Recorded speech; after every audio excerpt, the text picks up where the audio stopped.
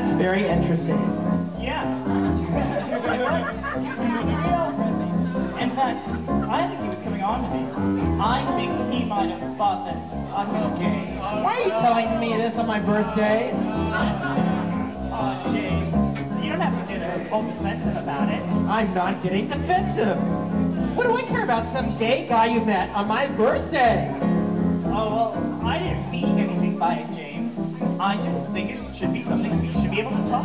I don't want to talk about it. This conversation is over. Yeah, but let me just... It's over, Aaron. Well, okay. But just so you know, if you were gay, that'd be okay. I mean, 'cause hey, I'd like you anyway. Because you see, if it were me, I would feel free to say that I was gay, but I'm not gay. Aaron, please. I'm trying to run my birthday show here, and you're getting in the way. What?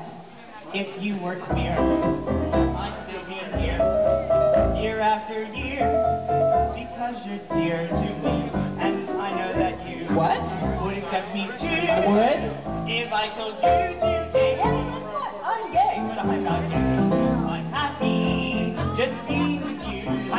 but choose So what would it birthdays. matter to me what you do in bed with guys?